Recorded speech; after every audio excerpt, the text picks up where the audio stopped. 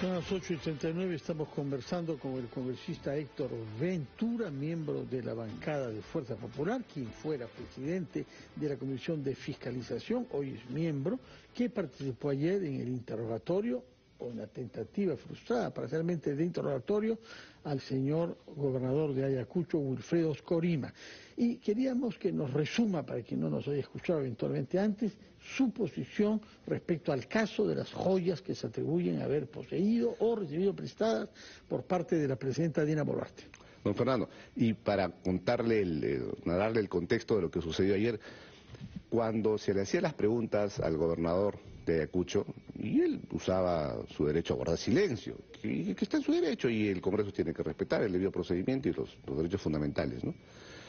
Pero en la, en la investigación que se le hacía a Pedro Castillo, iba Lilia Paredes, la esposa, iba Juan Silva, prófugo, iba General Alvarado, preso, iba Fray Vázquez, también detenido, y ellos, a pesar que habían ya indicios y sospechas graves, sospechas graves, ni siquiera indicios leves, sino sospechas graves, ellos también guardaban silencio.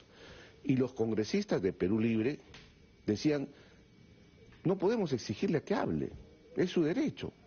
Y ellos mismos decían, ¿por qué estamos adelantando opinión si ni siquiera tenemos pruebas? Claro, es que cambia, ¿no? Cuando ayer escuchaba a uno de los congresistas de izquierda, no recuerdo cuál era el nombre, que decía, bueno, en efecto, yo defendía a Pedro Castillo porque era mi presidente, pero retrucaba y decía, ahora defienden a Dina Boluarte porque es su presidenta. Claro, entonces, inclusive... Esa, fue, esa fue una vuelta, digamos, que se le, que se le dio en, algún momento cuando se defendía el silencio del señor Oscorima, porque una cosa es lo legal y otra lo político. El silencio probablemente esté admitido en la Comisión de Fiscalización y sea un derecho del señor Oscorima, pero la lectura política puede ser distinta.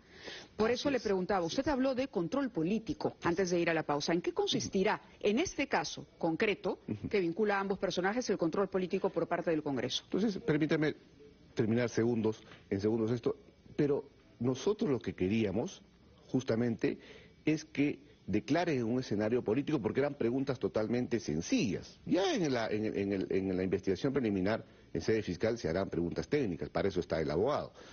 Entonces, pero, o sea, Ahora exigimos eh, transparencia, exigimos que sean valientes y cuando no querían responder Pedro Castillo y toda la cúpula de, esos actos de corrupción, entonces ahí, ahí sí no eran valientes.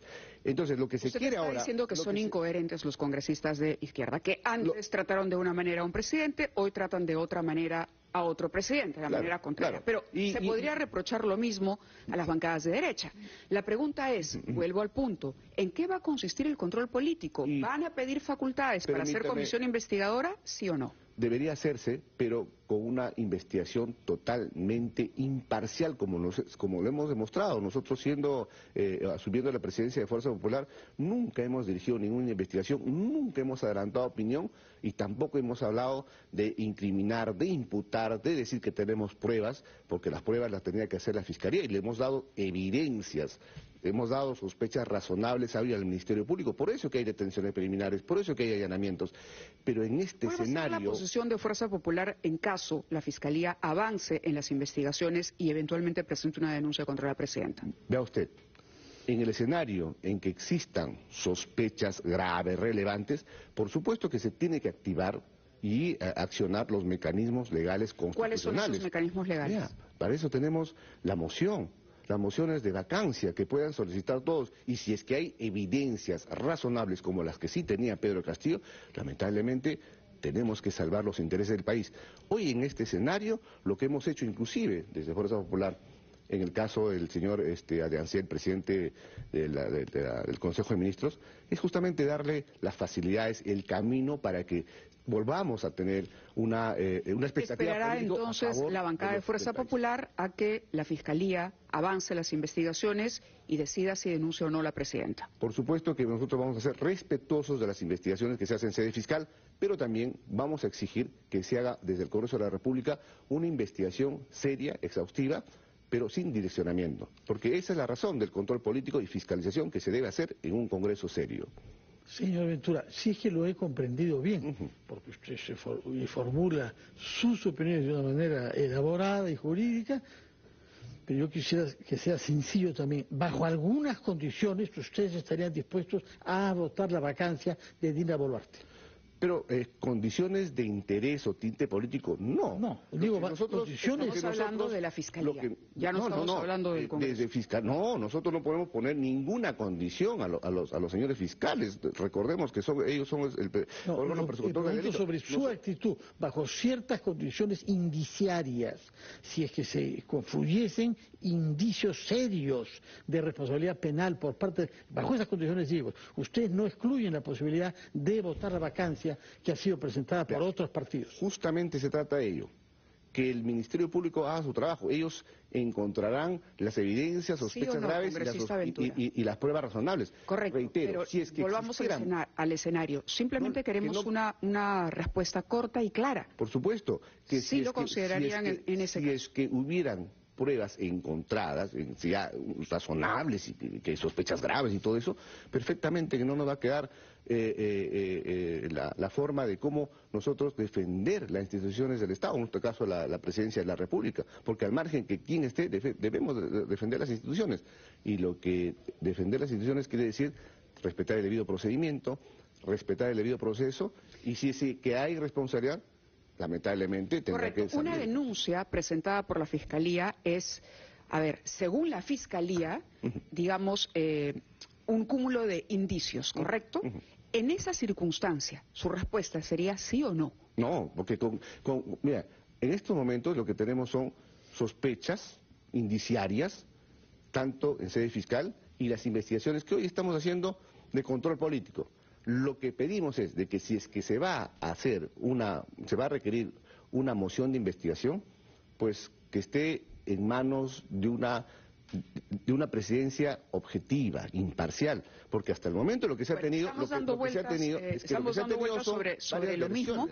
Una cosa es el Congreso, otra cosa es el Ministerio Público. El escenario que nosotros le poníamos claramente y que lo resumió muy bien Fernando fue en caso de que la fiscalía presentara una denuncia y no presenta una denuncia por las puras la fiscalía se supone que hace un trabajo previo de investigación y que adjunta una serie de elementos, y de pruebas. Con elementos convincentes. Eso es. A propósito del control político, hoy se van a discutir también o se van a debatir mociones de censura en contra del ministro de Energía y Minas. ¿Cuál es la posición de Fuerza Popular? En el, transcurso de las próximas horas seguramente vamos a tomar una decisión colegiada. Hasta el momento el, ministro está hace poco tiempo en, esta cartera ministerial. Eh, nuevamente exigimos a todos los funcionarios, a todos los ministros, que tengan una eh, eh, política eh, de estrategias a favor de sus carteras. carteras. Necesitamos hoy, por ejemplo, solucionar el problema, de este conflicto social de muchos años respecto a la formalización de los mineros Pero En concreto, ¿no tienen ustedes todavía una decisión adoptada con relación a la censura? ¿No nos puede decir si votamos a favor o vamos a votar en contra? Para ponerlo yo creo que sí, sí, sí. Muy responsablemente le diría que vamos a tomar las decisiones en las próximas horas para digamos, darle seguridad tanto a, a, los, a los ministerios y también a la ciudadanía, que es lo que quieren del Congreso de la República. Señor Ventura, quisiera apelar a su experiencia mm. política y a su origen en la Sierra Central. Usted nacido en Cerro de Pasco, pese a que es congresista ahora por Tumbes, para que nos explique algo. El señor Oscorima es conocido en Ayacucho, puesto que ha sido gobernador regional dos veces, el año 10 primero y el año 14 después. Es conocido por sus actividades empresariales y por su fortuna. Ha hecho uh, gala de eso, reparte a veces dinero, etcétera. Y es conocido también por su trayectoria judicial. Es un hombre que ha sido condenado que ha sido prófugo de la justicia, que ha sido detenido finalmente y al final liberado por decisión de la Corte Suprema bajo el presidente del señor Javier Villestein. ¿Por qué una persona con esa sombra de duda gana las elecciones regionales en Ayacucho? Es cierto que en segunda vuelta y que no quedó primero en la primera vuelta, pero ganó al final. ¿Cómo explica el comportamiento electoral de los ayacuchanos que usted conoce sin duda para que se vote sabiendo que es una persona por lo menos con una, trayectoria dudosa. Porque justamente es eso, don Fernando. Usted acaba de mencionar la trayectoria dudosa. Un candidato tiene que ser probo. Un candidato tiene que tener las condiciones para poder dirigir una región, para poder representar, en el Congreso. Si el electorado, en este caso Tumbes o Ayacucho, tiene conocimiento de que sus candidatos tienen procedimientos administrativos, sentencias, ese candidato debe ser descartado Porque no no lo los es, pues. resultados... Se ha no, es que- votado es por que él. Acá hay una responsabilidad justamente de los propios electores. Por ejemplo, el tema de la bicameralidad. Muchos refieren que el congre- este Congreso ha aprobado la bicameral para poder reelegirse. No, señor.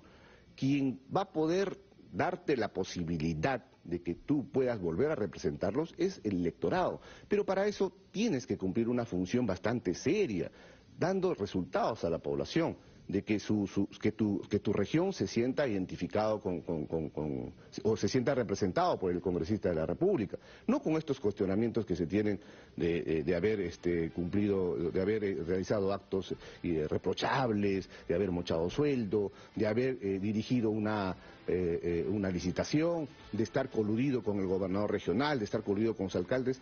Eso, de, de todas maneras, te pasa factura luego. De acuerdo. Gracias, congresista Aventura, por estar con nosotros esta mañana. Muy amable. Gracias. 8 con 50, hacemos una pausa y regresamos.